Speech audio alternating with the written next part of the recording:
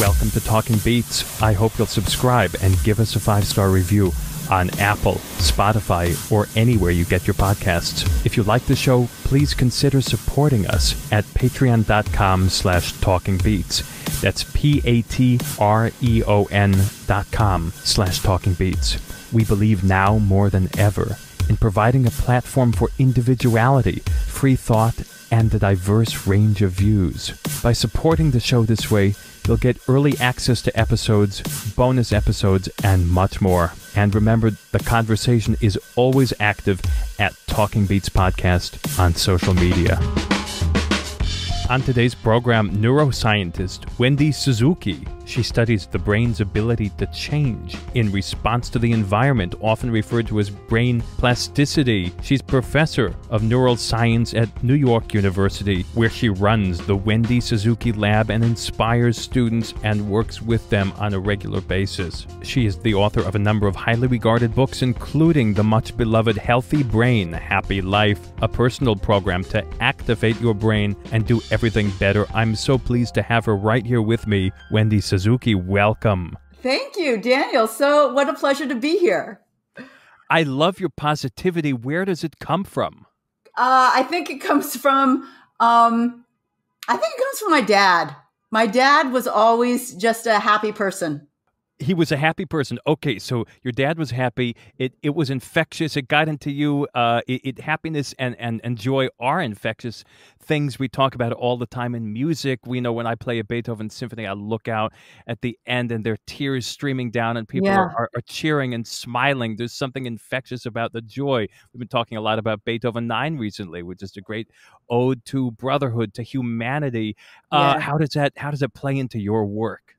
Well, I'll tell you, I agreed to this podcast because you are a musician, uh, uh, an amazing musician, and I have such high esteem of professional musicians and cellists in particular. I am a wannabe cello cellist. I have a cello behind me that that needs me to take lessons to play it. really? Wow. And um, I think music. I, I took piano lessons from a from you know being a small child, and um, music has always affected my emotions greatly. All kinds of music, classical music, musicals. I'm a huge fan of the Broadway musical. I live in New York City, and um, I think there are there have been geniuses that have written some of the classic musicals of our time um, and current geniuses that are working today. So music effects um, has is just so important and so effective in engaging our emotional our emotions. Absolutely. So, so you had music sort of in your ear from from a kid. Did, did you play growing up? You played piano growing up, or you yes, played? I yeah. played piano, classical piano growing up, all through. Um, I think I started when I was seven or eight, and all through high school you know, I, I, don't want to talk about music the whole time, although that that's that's easy to do. That would that would be nice. But but since we're since we're on the topic, let's just not leave immediately. So, could you talk a little bit about what the brain gets yeah. from music. You talk a lot about exercise, which is fascinating, and I want to go there too. But yeah. but what does music do for the brain? And and and frame it in the way that that you loved it as a kid. You were studying piano, doing your scales and arpeggios, being very diligent.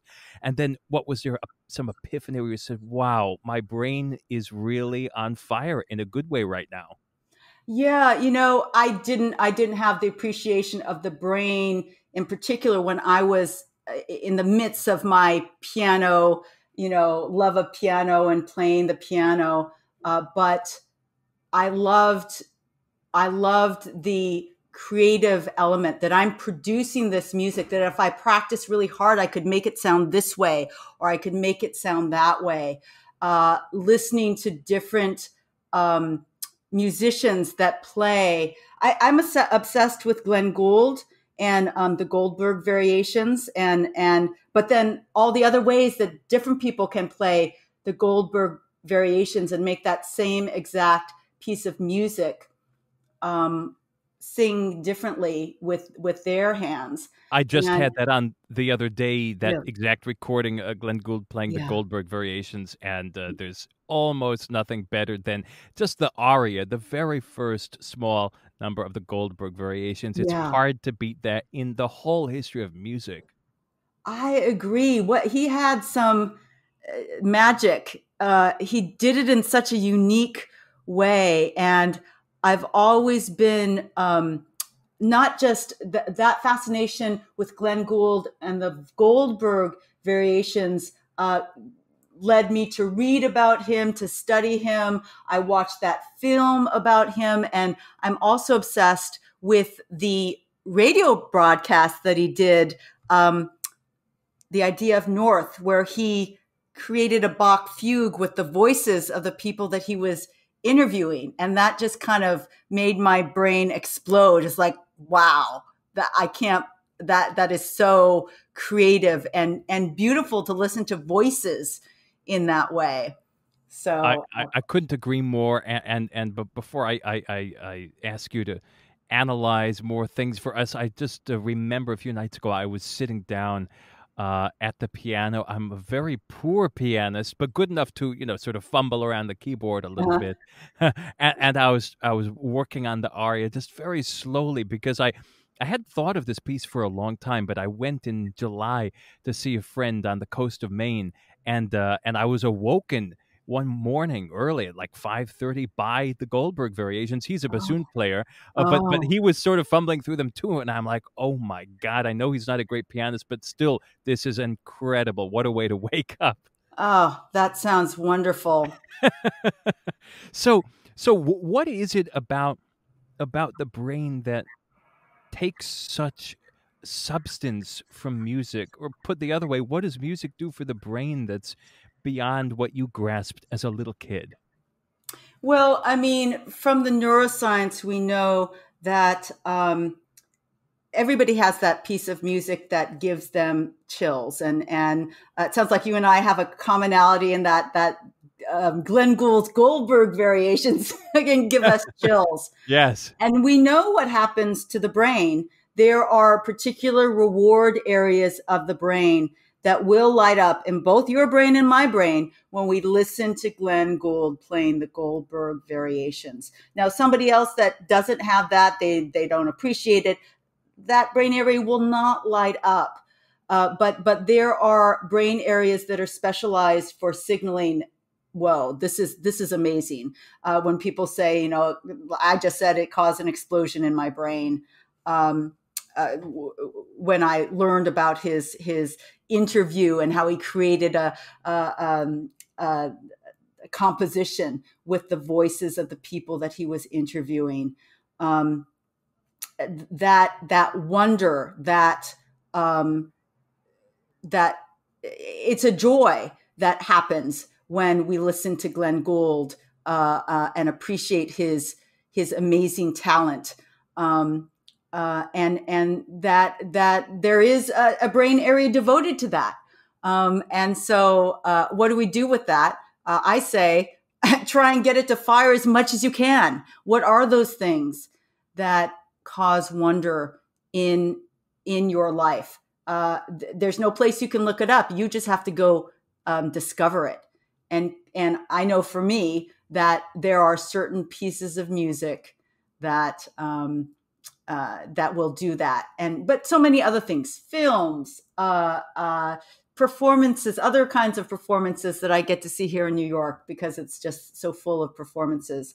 Um, um, even you know, conversations, conversations that we have that are so beautiful or valuable or or meaningful to us um, that will there's there's this kind of joy um, uh, the neuroscientist that studied uh, this uh, robert zatorre at uh, montreal neurological institute he went after that piece of music that gave you chills. And so what gives you chills? Well he he knows the reward area that is activated uh, by those chills what is that all about? What what are the chills? Are they? I've I've written about it before. It's something everybody sort of knows vaguely what it is, but but what is it to you? I mean, uh, when I when I hear certain Puccini Mm. operas, there are certain parts I I could you know make a list right now of excerpts of pieces that if you put it on, it would do it to me no matter what. I I was just writing I was just writing a piece about Beethoven 9 and and when the famous Ode to Joy theme is played for the first time by the cellos and basses and then very quietly a bassoon comes in, a lone bassoon and plays a counterpoint every time I play it or hear it. Absolutely chills, no question. It's like yeah. it just takes the wind out of me. What's that all about? You know, uh, neuroscientists can do certain things. Uh, we can we can identify a state and try and reproduce it, and then study what brain activations are are associated with it. The why is is much the much hard is much harder. I can tell you in myself, it it's uh it's I mean it feels like an innate reaction to um to this auditory stimulus that is that is so unique. I mean, we're we're um, we're drowned in sounds all the time. Most of them I don't really want to hear them, um, but there there's so many beautiful sounds out there, and um, uh, there are some that that are particularly um, powerful in in uh, in evoking these these emotions. And I, I, know people have studied this. There are particular beats that are uh, infectious. What, what is that beat that makes you stand up and dance? Um, and you can study them across cultures, and many of them have the have the same kind of beat. But but um, I, think what we're trying to explain and appreciate is um, is is this evolution of how the brain has has evolved to be created creative to create something and then to evolve an area that that responds to that um, not not necessarily only creativity but to to certain um, uh, certain kinds of sounds and that becomes the you know the the the the the thing that that sells a million copies that sells as many copies as Gold, as uh, Glenn Gould's Goldberg variations. So hard you know, to yeah uh, go ahead. a, a, a lot of uh, uh, uh, i'm so glad that that you left sort of an open end there because it because it sort of illustrates in a way the mysterious power that music has right? That that, yeah. that yes someone as as learned as as studied as curious as seasoned as you are you still say you know what? There's something about it that's beyond us. Oh yeah. Definitely. You know, uh, Wendy Suzuki, can you talk about brain plasticity? What, what does this term mean? Because I, you yeah. know, for, for, we, we see all these articles, and, and those of us who read newspapers and magazines who are browsing around online, you know, there's a million health articles uh, how to mm. make your brain this, that, how to how to make your memory better, all of these things. What what's the truth? Tell us. Well, the truth is that uh, brain plasticity, which really refers to the brain's ability to change in response to the environment, the brain is very, very responsive. Um, that that is one of its most amazing capacities. Uh, uh, the the ability to change. It allows us to remember new things, uh, new new experiences. It's going to allow me to remember the sound of your voice. I've never spoken to you. I've never heard your voice before today, but I will remember uh, the sound of your voice. And do you like that, it? I do. I do. You have a very nice voice. Likewise. Thank you. But you know that that how am I able to do that? There are molecular changes that are happening in my brain that will allow me to uh, remember uh, the sound of your voice and um, that is that is uh, probably one of the most common uh, forms of brain plasticity. Our ability to have our experiences that happen stick with us. They they they change the synapses in our brain, and so there's a lot of uh, uh, uh potential for that. If you have brain damage, uh, you can't grow back a new brain area, but there is potential for adaptation. So your brain could find new ways to do the same thing, uh, have completely different ways to do to get to the same uh, answer using different parts of your brain. Uh, that's another form of plasticity, um, and uh, it it it also is very important for dealing with things like the whole world is dealing with in terms of higher levels of anxiety and depression with uh, the whole situation that our world is in right now. Can we um, can we use uh, uh, um, leverage our understanding of brain plasticity to uh, get out of the negative aspects of depression and anxiety, which can literally shrink our brain and kill brain cells, and instead use it uh, for positive directions and use that kind of warning system of both anxiety and depression to uh, um, to improve our brain and to improve our lives. Now, I don't know how old you are, but I know you're rather a young woman. What about for older people? What is the brain's reaction? Is it still possible to to grow the brain uh, yeah. as an older person? Yeah, that's a great question. And in fact, uh, one of my favorite answers to that question is our studies that are coming out just recently um, confirming that. Um, so, for example, uh, adults and children uh, with exercise, they can literally stimulate the growth of brand new brain cells in their hippocampus. Um, so it's one of the only two brain areas in the entire human brain where brand new brain cells can be born in adulthood. Um, and uh, the question is, what about if you get into older age? What if you have mild cognitive impairment or you have Alzheimer's disease? And the answer is that even older people into their ninth decade of life, they can grow new brain cells in the hippocampus. Now, that capacity goes down if you do have mild cognitive impairment or Alzheimer's disease. That's that that really slows it down. But even uh, older people have that form of brain plasticity left. So yeah, it, it's not just for the youngins. Uh, uh, many of us, uh, uh, the, the, older people, still have the capacity for a wide range of brain plasticity. Not as much as as younger people, but it's still there. So before we get to how how we can do that as we get older, uh, you, you said something before that was rather striking, which is anxiety and depression can literally kill brain cells. Yeah, What's, is that true? I mean, it's it's shocking. Yeah, it is. Uh, because what happens is uh, depression and anxiety levels stimulate cortisol, the stress hormone, to be released by your adrenal medulla, which is uh, a structure just above your kidneys, that courses through your body and uh, it enters the brain. So high levels of uh, cortisol can em- enter your brain. One of the structures that has the largest number of receptors for cortisol, which are basically kind of door openings. A cell can only be affected by cortisol or any other chemical if it has receptors for it. Um, one of the structures that has lots of receptors for cortisol is called the hippocampus uh, structure, very important for memory. And so we know that um, people that suffer from PTSD, they have typically very high levels of cortisol in their body for long periods of time their hippocampi are smaller uh, than normal age match people that don't have PTSD.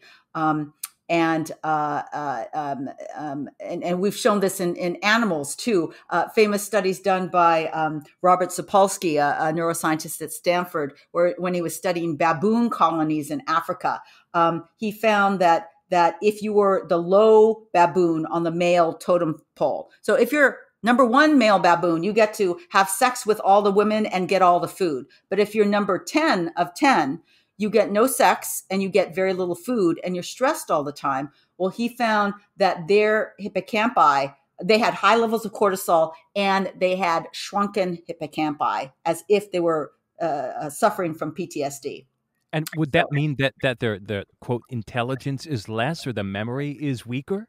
Their memory uh, was likely he didn't test the memory but their memory was likely weaker and uh, um, the, the, there was clearly cell loss in the hippocampus and, and we know that that cell loss uh, at least partially came from high levels of cortisol that activate the hippocampus and too high levels can can first kind of shrink the hippocampus and make all the uh, uh, the processes shrivel up. And with very high extended levels of cortisol, it can kill those hippocampal cells, and that's when you start to see memory memory impairments and size changes in the hippocampus. The other sense uh, that can be developed later in life is the is it the um the, the olfactory the the gustatory the the sense of smell is that yet? Yeah so so the olfactory bulb you can you can develop new brain cells there uh, but exercise doesn't help the olfactory bulb um, what helps the olfactory bulb is uh, being exposed to lots of different smells so in rodents, if you do experiments and give them uh, different smells to smell every single day, you see that their olfactory bulbs start to grow.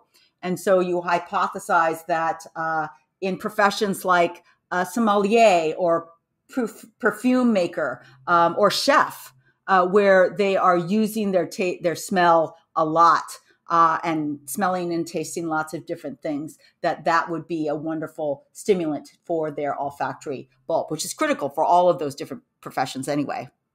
Uh, that's or, or for any food lover or any wine lover. Yes, absolutely. a, a, amateur food and wine lover, like like I am, like like maybe you are. Yes, definitely. so, uh, tell us a little bit about sort of the whole brain exercise relation. This is a thing that you have been writing and talking about for a long time, but it wasn't always who you were. You weren't always into exercise uh, and and sort of the the, the quasi religious fervor that you bring to your exercise regimens uh, as you do to your to your. Did, did you do a forty five minute uh, tea uh, this morning? By the way, I did. I did. You did. Oh, I'm just just making sure. Um, talk about the exercise, uh, how it can affect much more than uh, what happens when we look in the mirror. Yeah. So um, I call exercise uh, the most transformative thing that you can do for your brain today. And that is because we know that moving your body has immediate positive effects on your brain. It has, if you do it, so even a single workout, for example, can improve your mood significantly, decrease your depression, decrease your anxiety, improve your reaction times, and improve your focus, which is dependent on the prefrontal cortex right behind your forehead. That's what you get with a, a, single, you can get with a single exercise session. So, you know, no, no waiting three months to hope that I, I lose one pound on the scale. You get it immediately. Um, so, but that's just the start of it. If you continue to do exercise regularly, make it a regular part of your uh, of your day. You start to change the um, brain's anatomy, physiology, and function. That's when you start to see brand new hippocampal cells growing in your hippocampus. Uh, you start to see not just uh, temporary changes in your mood and energy levels, but your baseline levels of mood can change. So, my favorite study to quote is that um, uh, regular exercise can be just as effective as, as the most commonly used antidepressant in major depressive disorder. Um, why is that? Well, we know that even a single exercise session can increase levels of serotonin and dopamine and noradrenaline in your brain. These are the these are the same chemicals that uh, uh, antidepressants work to increase in your brain. So you're getting a natural boost of these uh, neurotransmitters, neurochemicals. Um, my favorite analogy is that every time you work out, it's like giving your bath a wonderful bubble bath of neurochemicals. And those neurochemicals include uh, dopamine, serotonin, and those mood boosting, anxiety busting, and depression busting um, neurotransmitters. Um, so, so yeah. what is what is something that you consider exercise? Like picture picture you have someone who is not the most active person in the world, yeah. uh, perhaps a little older, but but very healthy. Uh, and what what would be a, a, reasonable form of exercise, a reasonable time and and uh, exertion that could make a difference? Yeah, sure. So, in, in fact, I like to say that uh, um, the people that aren't already on an exercise regimen, you have it easiest because uh, there's less exercise that you have to do to get your heart rate up. Uh, and so, uh, somebody that is not used to regular exercise, a good power walk. Um, certainly, walking has been shown to start to have these mood boosting effects. So, you certainly don't have to become a triathlete to get these effects. A good power walk is a great way to get started. And this is something I love for so many reasons. You don't have to get dressed up in your in your hundred dollar, you know, Lululemon to to to walk. You don't need special shoes. You just have to go outside and and start walking, and that that is is the start.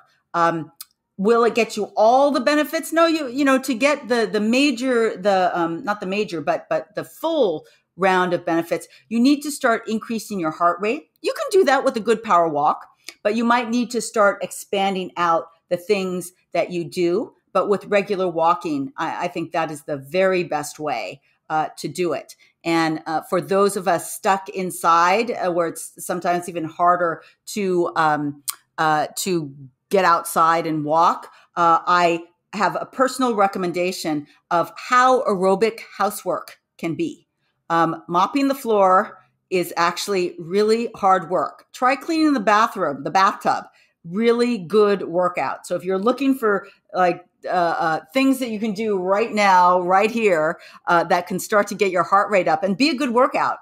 You don't have to look uh, um, farther than your than your uh, utility closet with the mop, the broom, and uh, a sponge to get a good workout.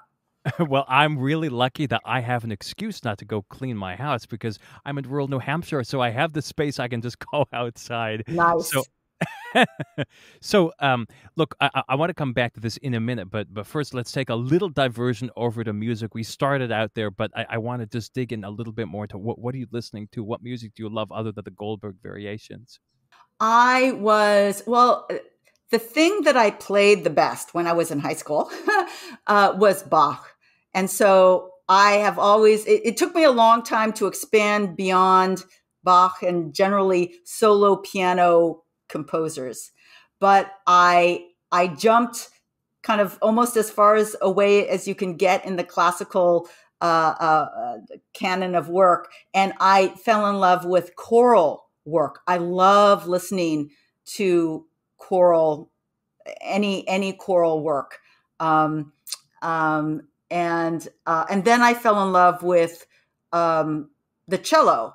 And um, I have this story that I told in my book, um, "Healthy Brain, Happy Life." That I I uh, I had this very formative relationship um, experience when I was a junior in college, and I went to um, I went to Bordeaux and I studied for a year in Bordeaux because uh, my nerdy uh, college self always had this dream that that France would be just so romantic and so amazing, and it was. It was totally romantic, totally amazing, and I ended up um, uh, going out with a musician, a French musician, that whole year, who was a musician and he was a piano tuner, and he came to tune the piano in the room that I was staying in, and I met him, and um, I I would go to his apartment uh, and study for my classes. Um, every afternoon after school, and he was off tuning his pianos or working uh, in some other way. And he had a recording of Yo Yo Ma playing Bach solo cello concertos. And I'd never heard that before. And I, I think I wore that record out.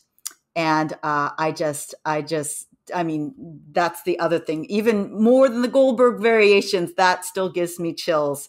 And uh, what what was uh, so amazing is that that Christmas, um, Francois, the my boyfriend, uh, gave me a cello for Christmas, and I didn't even play the cello. That's the cello that's sitting behind me right now. Wow! And it so, made it to New York with you. Oh yeah, it, I I dragged it all all over the country, um, and I even took lessons. But my my uh, my cello teacher got hired by by a wonderful symphony orchestra, and he had to leave um, New York and so then I didn't have a cello teacher, and then I got very busy. Uh, but but I keep it here, so I, I look at it all the time uh, and remind myself that I'm going to take cello lessons. Um, I I hope you take that up at some point. It's waiting for you. It's lonely. I know. I know. Uh, I will. I will. You will. Um, so I, am I'm, I'm going to tie this back into what we were talking about, and and and you gave me. I was thinking, hmm, how am I going to bring the conversation back? But you gave me an idea. Yeah. I was listening to you carefully, and and what I wonder is your analysis of this. When I was a kid, I started telling when I was four and a half years old, and uh, and I'm very lucky that that my parents didn't stand there with a whip and you know make me practice and practice more and, and sort of 10 hours a day. They, they always said, especially my mom, who did a lot of the practicing with me, she always said, it has to come from you. Mm. The, the, the love of the music, the love of the cello, the appreciation, the desire to want to work has to come to you because otherwise I could stand here and force you to do it, but you'll end up hating me or, or hating yeah. cello and music in the process. So, what is your, your, your medical side tell you about how pleasure influences work. I imagine that that there's amazing links you, you've seen there. Well, I mean, more just personal observations. That is not a, a area specialty of of my particular research, but absolutely, I I personally have always been driven by my love, my fascination of of the things that I end up doing for my profession. And so I feel incredibly lucky to have um, been able to do that. So I fell in love with the brain, um, uh, going to the um, lectures and working in the lab of my science mentor, Marion Diamond, as a freshman at, at UC Berkeley. And her love and her, her amazing teaching ability. Um, she she was she remains the best teacher that I have ever had in my or observed in my entire career. And I you know I steal all the time from her and try and use all her best techniques and throw in uh, all the things that I could I could find to to engage the students um, because I know so my, my goal I teach a, a neuroscience for non-science majors class at NYU. I'm teaching it right now. And my goal is that that I that they get so engaged. They're all worried. Um, these are non-science majors, and they they feel like they're not good at science. They're worried they're gonna it's gonna be over their head. And so when I get students at the end that say, "Yeah, you know, I think I'm I'm interested in majoring in a science," that that is my goal. Um, uh, to get a couple people to actually say that to me. so but so but it's it's not because i'm forcing them. Yeah I, they have to take the class but to try and present why i love neuroscience so much it, it's it's a really the study of yourself. Why am i so unique? Why is my brain my brain is the most complex structure known to humankind? Most people don't go around thinking that but i do and and so i feel very lucky that i get to study using my brain our collective brain to try and better understand why it is so complex why why these particular cells can generate a thought or generate a shiver as we were talking about before. I don't know the answers to those questions but i think they are so engaging so fascinating. Um, and so that's what i try and bring to the students you know, I was going to ask you about teaching as we got towards the end. You, you brought it up. How do you design the courses that you teach? How do you determine how closely related your teaching is to what you're working on outside of the classroom? I think I uh, I approached it in a kind of a systematic way. I used to be just a very clear teacher. My my goal was to be very clear in my delivery of just the standard, uh, um, you know, things that that the class needed to cover. And I, I was good at that. And but then I got a little bit more um, creative. And uh, uh, two classes illustrate that. And one of them, one of the classes came when I was getting really interested in exercise. And um, uh, I was studying memory at the time, but I started to notice how much exercise was changing my brain. And I started to read about the neuroscience of exercise. And so I realized that the best way for me to learn this new topic that I wanted to learn, very, very selfishly, was to teach a new undergraduate class on it. Because if I learn it well enough to teach it to the undergrads, then I really learn it.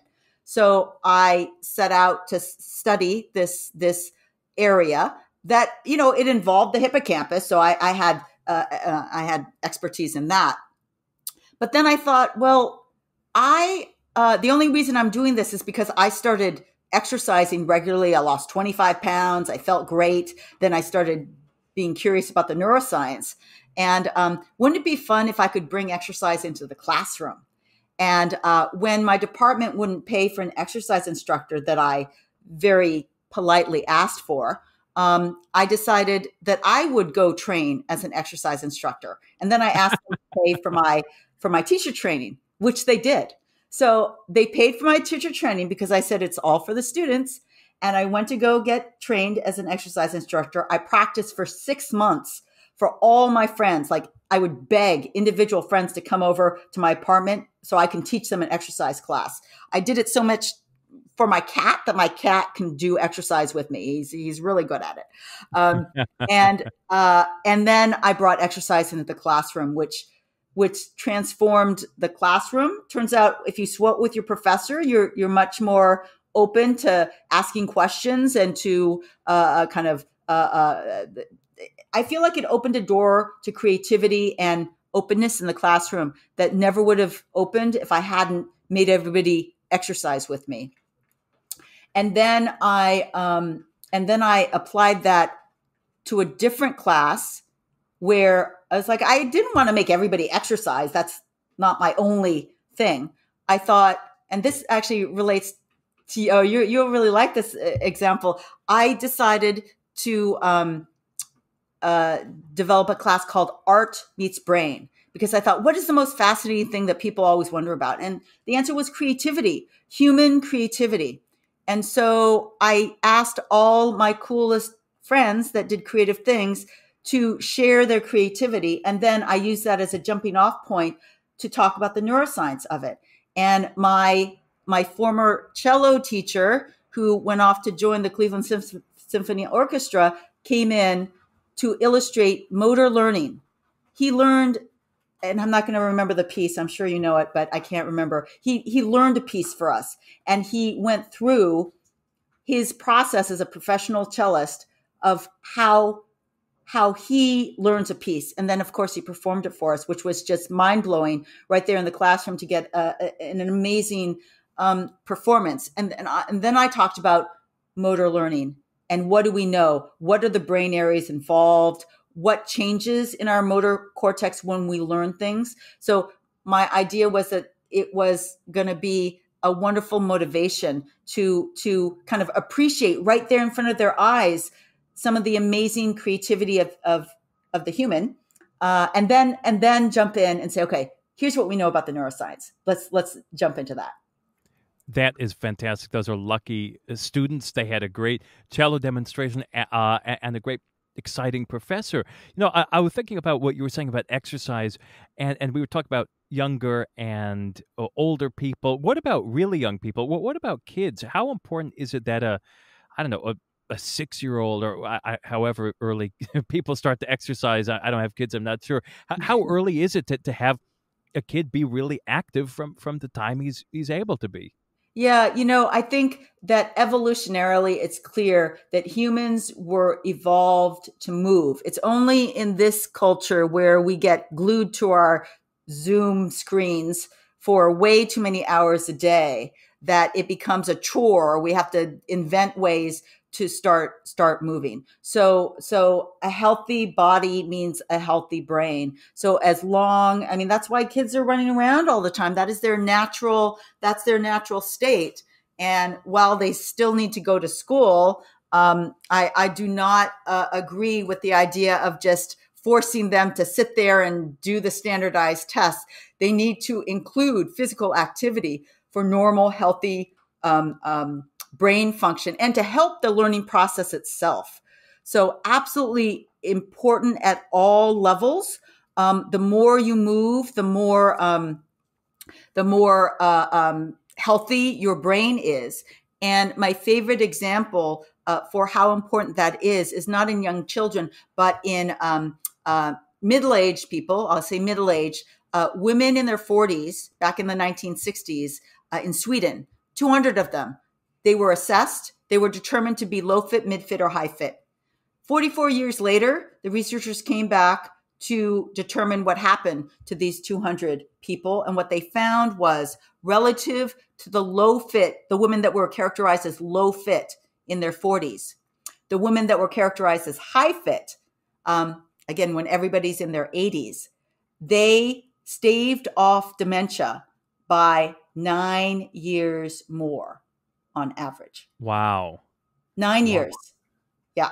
And and that comes from you think uh, casual walking or more involved uh, sort of get the heart rate up sweating do you have to break a sweat uh, so uh, high fit uh, typically uh, um, suggests that these people were sweating they had a regular workout routine but those details weren't all included in the study they were just characterized as as high fit so um, uh, yeah uh that's so so Amazing. yeah I mean, so that that is my.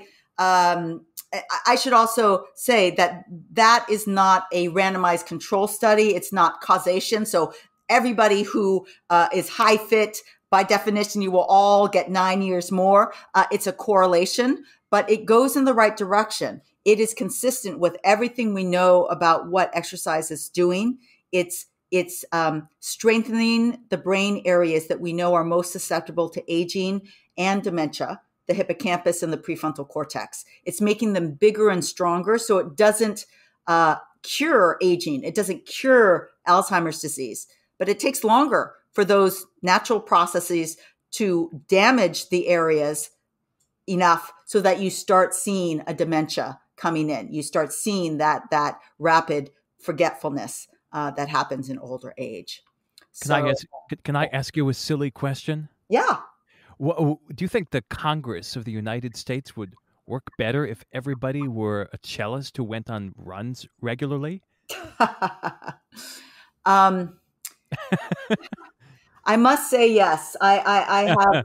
I, I, I'm not optimistic about about our Congress. Um, I think there's so many divisions and and there are lots of systemic problems. But yes, I think exercise and creative outlets like cello playing or any instrument playing um, or core. I think they should all be in the chorus together. Um, not so they give each other any viruses, but but to work together in a group in a creative sense. Although I'm sure uh, some would, would like it for, for the other idea. If, if, yes, if, exactly. uh, so, what are you working on now that really excites you? Uh, obviously, are, are you are you doing everything from home? Are you going into the laboratory at all and and playing with with dials and big screens i am doing everything from home uh, i'm running all the research experiments virtually which is uh, a blessing we're able to do that uh, with a great lab group that i have uh, the thing i'm most excited about is a company that i uh, started called brainbody. Um, i'm founder and ceo of that of that company and that company um, helps translate the neuroscience research of how transformative and how amazing exercise is for your brain to give you, Daniel, uh, information. So, uh, what BrainBody does is it allows you to quantify the effects of your different workouts on your brain. So, you take short assessments before and after, whatever kind of workout you want to do, including a, a walk around rural New Hampshire. Um, uh, and and we can tell you exactly how much your mood and focus is changing. And we are developing the platform to be able to create kind of long-term exercise regimens that will maximize your brain function, um, hopefully for the rest of your life. Well, I love it. I do more lifting of weights than walking, but I, I, but I do also do uh, bike rides and runs. Uh, yeah. Although I've had a sprained ankle recently, oh. but it's almost better. Um, and and I'm going to look this up. And and so, what can we get it on our smartphone? Um, no, we're, we're, we're still a startup company. Uh, we are working with other businesses. So, so, uh, um, uh, it's not available widely yet, but hopefully in the next year, we will be launching uh, uh, for the general public. Uh, we're working hard on that, but that is the thing I'm most excited about uh, working on that as well as you know uh, uh, doing my lab work. I'm teaching. It's a lot of a lot of things going on. Brain body. We're going to. I have a bookmarked already here on my computer. Uh, we're going to keep an eye on it. And and Wendy Suzuki, I hope you'll come back. I love talking to you. I love talking to you too. I would love to come back. You've been listening to Talking Beats with Daniel Lelchuk. I hope you'll subscribe and leave a review on Apple, Spotify, or anywhere you get your podcasts. The original theme music for this program is by Ronald Markham. The content coordinator is Nathaniel Mose. Doug Christian is the executive producer. I'm Daniel Lelchuk. See you next time.